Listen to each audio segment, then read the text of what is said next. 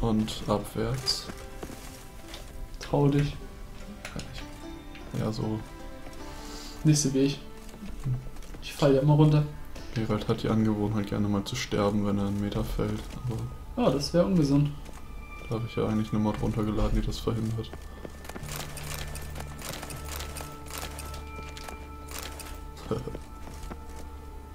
Lauf. Oh Gott, nicht schon wieder. Das wird Yoshi gefallen. Oh ja. Das gefällt mir auch. Hör auf damit, sofort. Digga! Was ist denn mit ihm? Deinen Kopf gegen die Wand zu schlagen wird nichts daran ändern.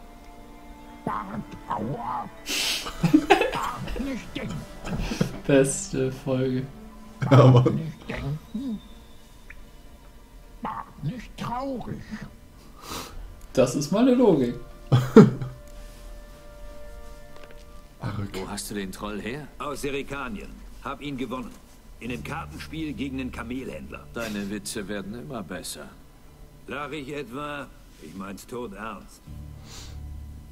Bart sie im Buckelpferde. Heißt da. Siggi Bart mitnehmen. Siggi gut. Buckelpferde. Du scheinst dich ja mit dem Troll bestens zu verstehen. Also, was soll ich hier unten? Merk dir das Loch da. Ich komme nachher nochmal drauf zurück. Siehst du die Tür da? Dahinter ist die Schatzkammer. Bis vor kurzem noch voller Novigrader Kronen und anderer Wertsachen. Bart bewachen. Dann machen Bums. Zatsch weg. Ich übersetz mal. Irgendein Arschloch hat sich mit fast 20 Tonnen meines Goldes Jo. und dem ganzen Kleinzeug vom Acker gemacht. Und du bringst es mir zurück.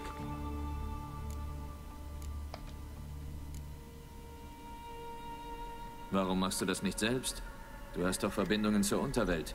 Wozu brauchst du einen Hexer? Das Gold gehört mir nicht allein. Nun, ich führe eine Art Sparkasse für bestimmte Spaßkasse. Leute. Eine Bank für Eingeweihte. Der Grund dafür dürfte klar sein. Ich will nicht, dass meine kurzfristigen Liquiditätsprobleme bekannt werden. Also brauche ich jemanden von außen. Woher weißt du, dass du mir vertrauen kannst? Ich weiß es nicht. Ich zähle auf deinen Überlebensinstinkt. Wenn du einen Fehler machst, verfüttere ich dich an Bart. Bart leid tun. Bart das tun müssen. Bester Troll. Na schön, ich werde dir helfen. Du strahlst ja nicht gerade vor Begeisterung.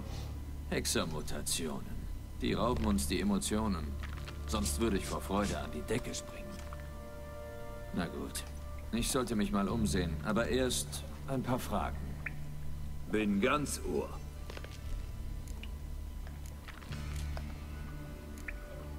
Wie viel war das alles wert? Was schätzt du? Wieso zum Teufel interessiert dich das? Geht's dir um den Finderlohn?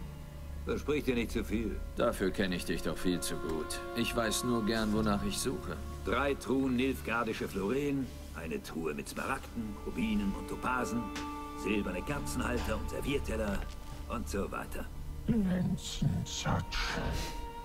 Alles weg. Hat irgendwer gesehen, was passiert ist? Außer Bart? Nein. Und der genaue Standort der Schatzkammer ist nur den Miteigentümern bekannt. Tja, und den Dieben. Und oben? Ist am Tag des Raubs irgendwas Ungewöhnliches im Badehaus vorgefallen? Nein, Happen schwört, es sei ruhig gewesen, wie immer. Die üblichen Kunden, keine Vorfälle. Eine verfluchte Idylle. Ich schätze, die Diebe sind durch das Loch hinter dir reingekommen. Du bist ein echter Meisterdetektiv. Sonst noch irgendwelche brillanten Schlussfolgerungen? Das Jahr vielleicht? Den Scheißnamen von Redaniens König? Nein. Aber ich frage mich zum Beispiel, woher das Loch überhaupt stammt. Kein Loch. Bums. Loch. Bart wolle nachsehen. Bart nicht sehen, nur schlafen. Schlechte Lipze. Kopfwirr. Bums, kannst du das näher erklären? Bums. Bums. Groß so. So ein Feuerball, Junge. Ich mach das. Explosion. Groß genug, um dieses Scheißloch in die Wand zwischen Schatz und Kanalisation zu sprengen. Du kannst dich ziemlich gut mit dem Troll verständigen. Hab mich ja in meinem Leben schon mit so manchem Idioten abgeben müssen. Schlechte Pilze? Wie meinst du das? Popspuren. Die sind hochgiftig. Ein Atemzug und du bist tot. Es sei denn, du bist ein Troll. Der Bart. Bart Troll. Ich rede nicht mit dir, du Blödmann. Wo war ich stehen? Ach ja, Popspuren. An den Wänden der Kanalisation hinter der Schatzkammer. Hielt ich erst für nützlich. Zusätzlicher Schutz und so. Die Diebe haben sie überwunden. Bart, hast du sie gesehen? Bums. Bart durch Loch sehen wollen, woher Bums. Atmen, Lipze. Schlafen ein. Zatsch, Futsch. Böser Troll. So trocken. Na, Kopf hoch. Hast du versucht, die Diebe selbst zu verfolgen? Klar doch. Habe diesen Trottel angeheuert, Fons. Dumm genug, keine Fragen zu stellen. Haben was gegen die Popsporen eingeworfen und sind in die Kanalisation. Bin aber allein wieder rausgekommen. Was ist passiert? Der Kerl hat auf einmal so entsetzliche gerülpst, dass die Wände gewackelt haben. Hab ihm gesagt, Fons, hör auf, du bist mit einem Grafen, nun ja, ehemaligen Grafen, unterwegs. Und dann hat er sich übergeben und das meiste Gegengift ausgekotzt. War nicht mehr geschützt. Hab versucht, ihn rauszuziehen. Da sind auf einmal Blasen aufgestiegen. Irgendwas kam aus dem Wasser. Das Leben meiner Männer ist mir wichtig. Aber meins noch mehr. Habe Fons losgelassen und bin wie wild weggerannt. Kannst du dieses Irgendwas beschreiben, das aus dem Wasser kam? Nein, kann ich nicht. Die Luft dort unten ist voller Spuren. Man sieht kaum die Hand vor Augen. Du musst doch was gesehen haben. War es... Nein, einen Scheiß habe ich gesehen. Und eine taxonomische Untersuchung habe ich auch nicht gemacht. Ich weiß, dass dir das nicht gefällt. Aber ich wollte da weg, so schnell ich konnte. Ich sollte mich mal in der Kanalisation umsehen. Hast du noch was von dem Gegengift? Noch ein paar Fiolen und das Rezept. Ekliges Zeug, wenn ich ehrlich bin. Aber es rettet dir das Leben. Hier. Danke. Nichts zu danken, wirklich. Wenn du erstickst, nützt du mir nichts. Gut, ich bin oben, wenn du mich suchst. Von der leeren Schatzkammer kriege ich noch ein Magengeschwür. Viel Glück.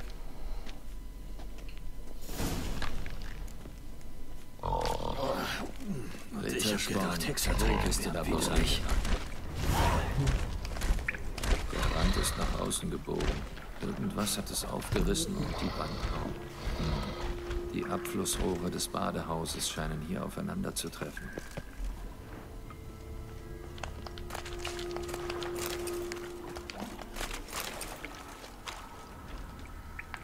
Das Rohrgitter. Die Explosion hat es zerquetscht wie ein Stück Papier und an den Gitterstäben ist Mörtel. Es war also zum Zeitpunkt der Explosion noch fest. Es wurde aus der Rohrsteine Spuren von. Ein mächtiger Knall. Es war kein Zauber, sondern eine Bombe. Aber warum finde ich dann keine Tannen? Vielleicht wurden sie weggeschwemmt.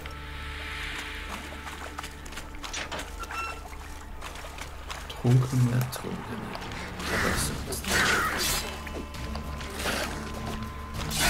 Wie wir sie kennen und hassen.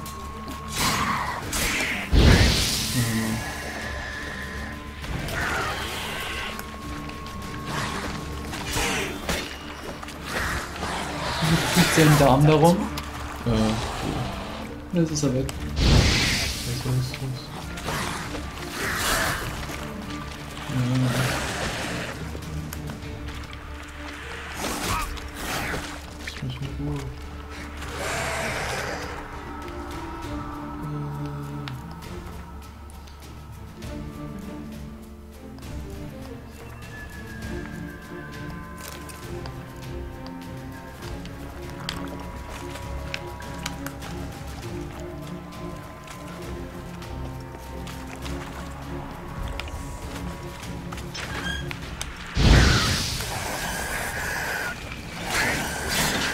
schön von hinten.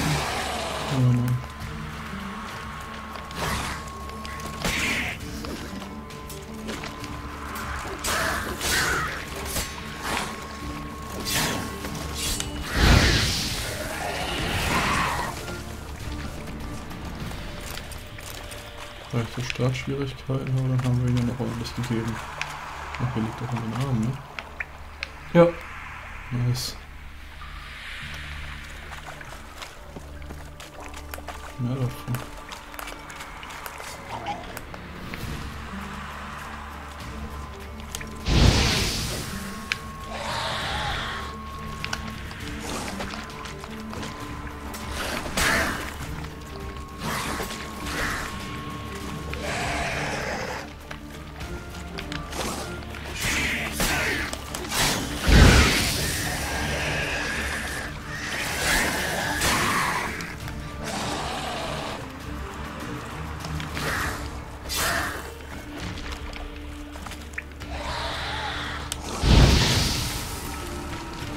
Na, wer liegt denn da?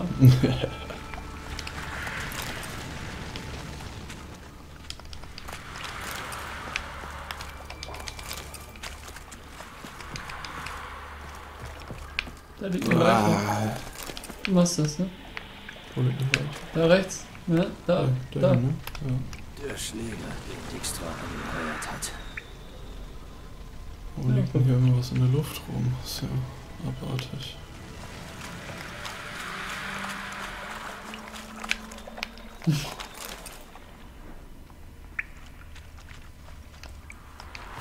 Dijkstra hat sonst niemanden erwähnt. Muss zu Rittersporn gehört haben. Oh oh. Überall erbrochen es. Hatte wohl auch das Gegengift. Aber konnte es ebenso wenig können. Das ist echt bitter, wenn man das Gegengift auskotzt.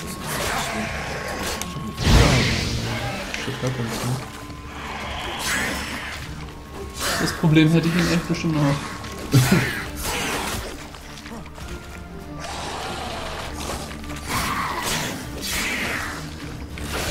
Elegant ausgewählt. Nicht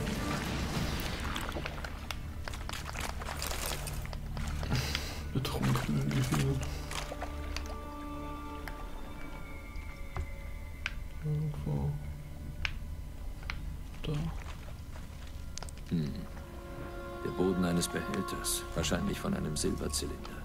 Eingravierte Runen. Er ist verdreht. Kommt wohl durch die Explosion. Ein Bombenteil, ganz sicher. Riecht nach Silbernöl und Karamell. Mehr gibt's hier unten nicht. Ich muss mit Dijkstra reden. Hier endet die Spur. Rittersporn muss den Wir brauchen mehr Tränke. Ja, auf ein Boot geladen haben.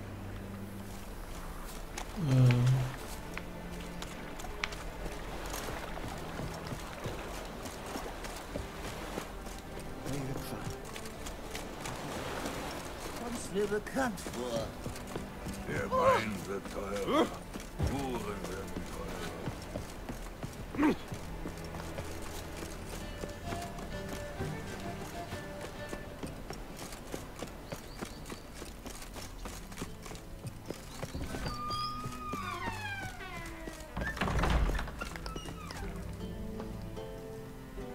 Hast du kurz Zeit? Hab ich? Was willst du?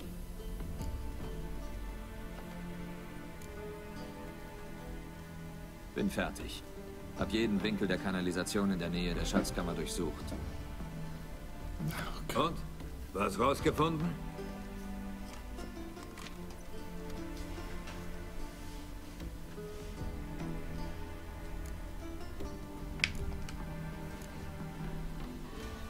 Ich habe eine zweite Leiche gefunden. Einen der Diebe. Hatte das Gegengift erbrochen. So wie dein Mann, dieser Fons. Ein herrlicher Tod. Irgendwas bei der Leiche gefunden? Nicht viel. Eine leere Fiole. Man hätte ihn nicht zurückgelassen, wenn er wichtig wäre. War wohl nur ein Träger. Wusste nichts. War niemand. Eine Sackgasse. Einige Schätze sind aus den Kisten gefallen. Eine eindeutige Spur. So wie in dem Märchen. Das mit den Brotkrumen. Hm, kenn ich. Hänsel, Gretel, brennende Hexen. Passt perfekt zu Novigrad. Die Spur führt zum Fluss, in den der Kanal fließt. Dort hört sie auf. Ich wette, sie haben den Schatz auf ein Boot geladen. Ja, ein von Kanalratten gezogener Karren ist unwahrscheinlich. Und da Boote keine Spuren hinterlassen? Was für eine Scheiße.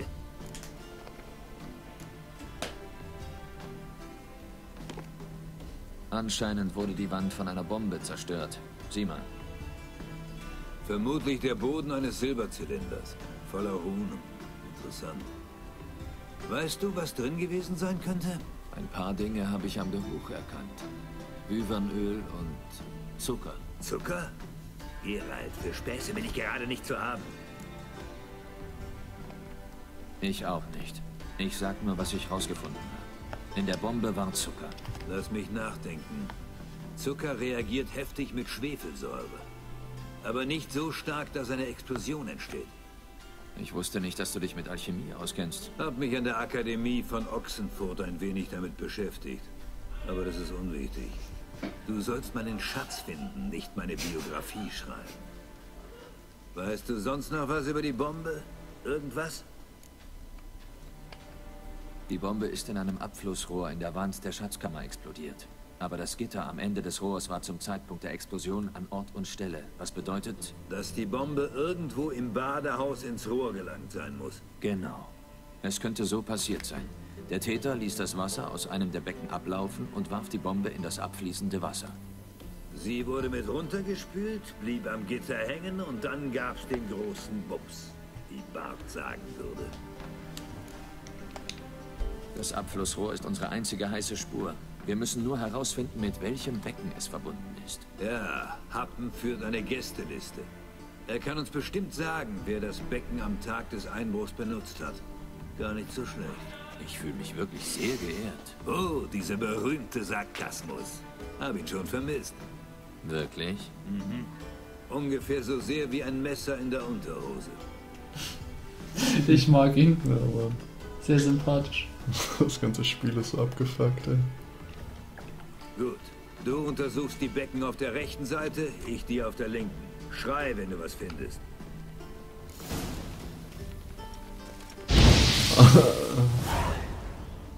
Okay.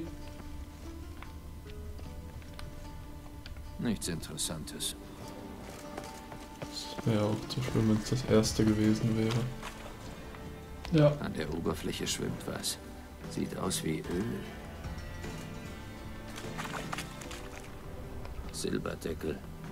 Passt zu dem Zylinderboden aus der Kanalisation. Dijkstra, komm mal her.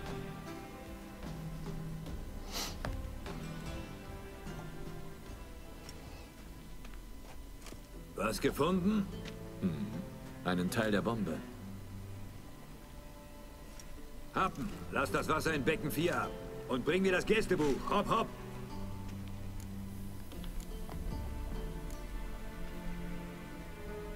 Was ist mit Happen? Vielleicht hat er dich zufällig über die Schatzkammer reden hören. Er hat jederzeit Zugang zum Badehaus. Happen hat viele Fehler. Er ist wichtig, tuerisch, überheblich und manchmal ein richtiges Arschloch. Das klingt jetzt vielleicht ironisch, aber seine Treue steht außer Frage. Wie kannst du dir da so sicher sein? Hexer kennen ihre Monster, Spione kennen ihre Männer. Einst hast du auch Philippa Eilhart vertraut. Stimmt. Aber ich habe Philippa Eilhart nicht in der Nacht vor ihrer Hinrichtung aus einem kuvirischen Gefängnis geholt. Mal sehen, was auf dem Grund liegt.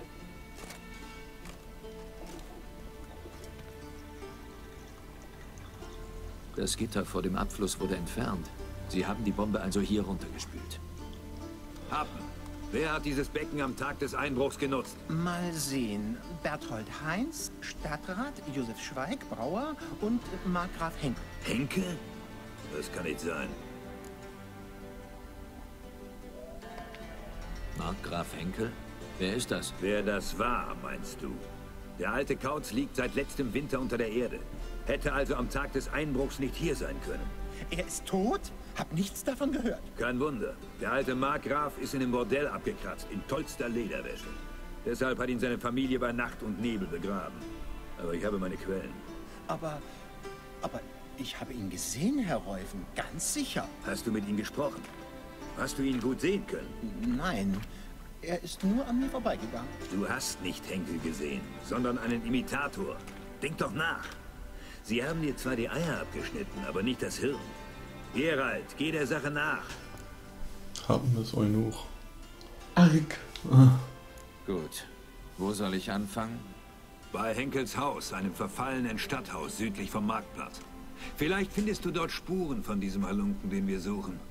Nun geh schon.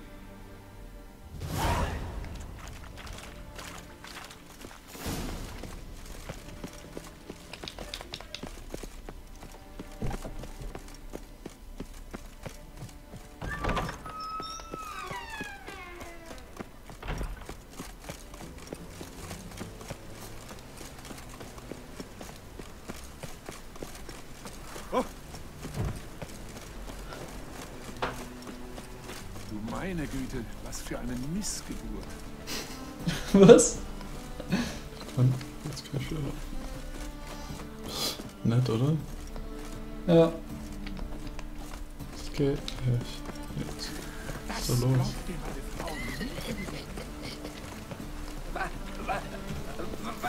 Nicht? Was für eine Bruchbude.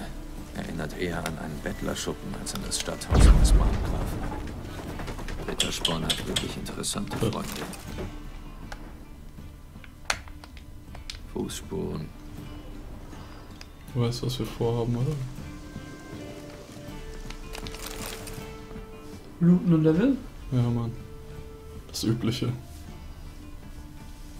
Oh, Nichts übersehen hier. steht sogar was drauf. Silberzylinder. Der Boden sieht aus wie der aus der Kanalisation. Die haben einfach mal eine Handgranate gebaut. Das ist so. Bombe. Bombe, Junge. Ja, Mann.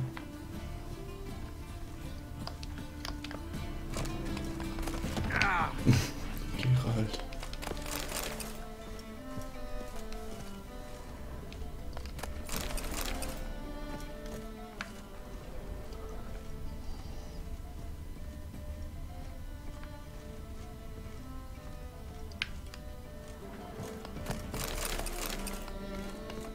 Ein Brief und eine Flasche. Der Wein aus deinem Geburtsjahr. Einfach vorzüglich. Verblüffendes Bouquet. Du musst ihn versuchen, aber leg die Flasche wieder dahin zurück, wo sie herkommt. Aus deinem Geburtsjahr. Könnte das von Rittersporn sein? Oder von Ciri?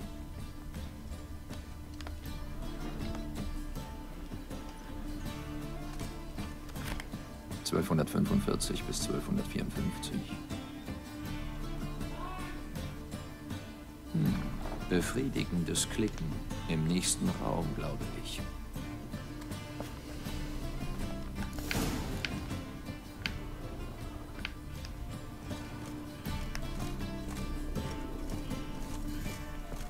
Oh yeah. Hier haben Rittersporn und seine Leute wohl den Raub geplant. Eine Anleitung zum Bau einer Bombe. Unterschrieben von einem gewissen Kalkstein. Zucker. Und Klumpen von einer Substanz, die in Wyvernöl getränkt ist. Kalium. Sieht so aus, als hätten sie hier die Bombe gebaut. MacGyver.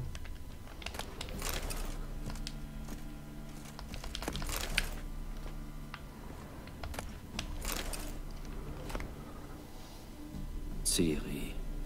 Menge folgt mir. Er hat den Schatz. Er hat Rittersporn. Du musst fliehen. Schritte. Nicht gut.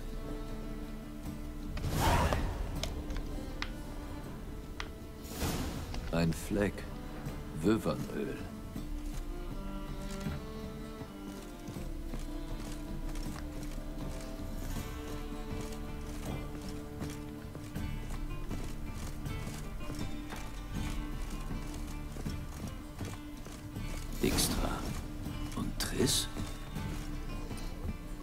Nicht erwartet, dich hier zu sehen. Erst recht nicht mit Triss. Ich fand, wir könnten jemanden mit Magiekenntnissen brauchen. Ich sterbe vor Neugier, was die Runen auf der Bombe angeht. Stirbst du auch vor Neugier, Triss? Nein, ich bin wegen des Geldes hier. Ah, Marigold gibt die zynische Materialistin. Herrlich. Sie ist tatsächlich wegen ihrer Ideale hier. Mit Gold kann sie ihre Kollegen retten. Wenn ich meinen Schatz wieder habe, kann ich ihr helfen. Ganz einfach. Wo ich gerade dabei bin, verzeih meine buklerische Ausdrucksweise, aber weißt du jetzt, wer verfickt nochmal mein Gold hat? Moment. Sag mir zuerst, was du hier machst. Wir hatten vereinbart, dass ich zu dir komme, wenn ich was finde. In der Tat. Aber ich war besorgt und dachte, ich sehe bei dir mal nach dem Rechten. Schwachsinn. Du traust mir nicht. Ich traue dir so sehr wie du mir. Also gar nicht. Eine gesunde Beziehung, glaub mir. Meine Herren, es ist eine Ehre, Zeugin eures intellektuellen Gefechts zu sein. Doch bedenkt, dass ich im Gegensatz zu euch mein Leben riskiere, wenn ich nur auf die Straße gehe. Sei es nur, um herzukommen. Könnten wir also bitte zur Sache kommen? Du hast Triss umsonst bemüht. Es ist sinnlos, die Bombe zu untersuchen. Weil? Weil ich schon weiß, wer deinen Schatz hat. Der Kommandant der Tempelwache. Caleb Menge. Tja, Marigold. Zum Lohn gibt's noch eine Portion Rache frei Haus. Gerald, wärst du wohl so freundlich, mich auf den letzten Stand zu bringen? Ich bin sehr neugierig.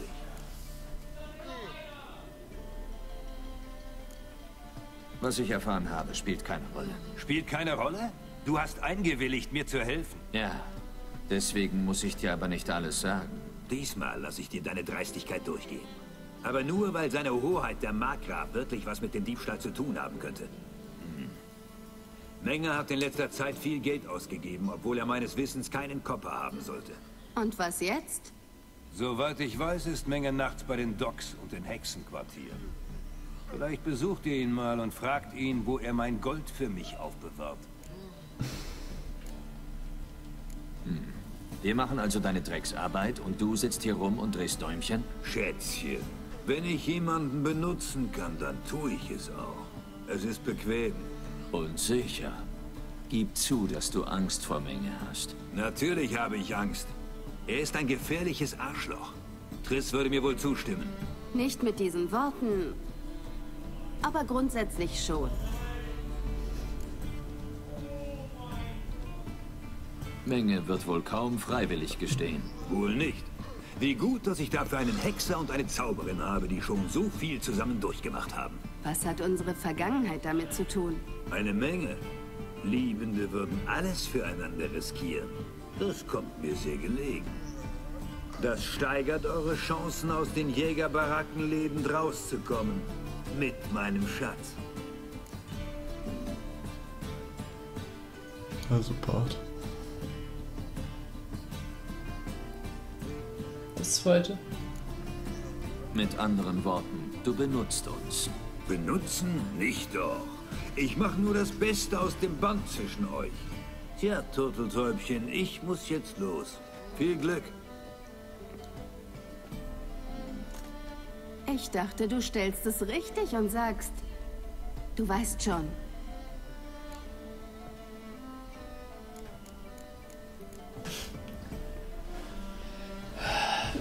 Äh, das zweite. Du hättest es auch richtig stellen können. Stimmt. Aber es ist nicht einfach, das zu sagen, oder? Wir sind vom Thema abgekommen. Wir müssen einen Schatz bergen.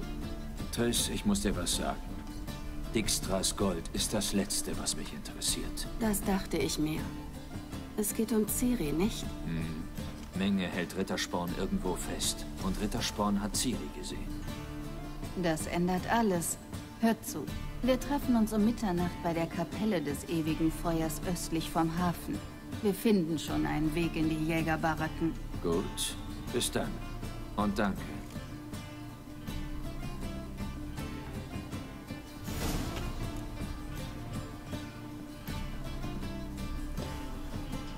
Tja, das wird eine Gaudi heute Nacht. Oh ja. Bis dann.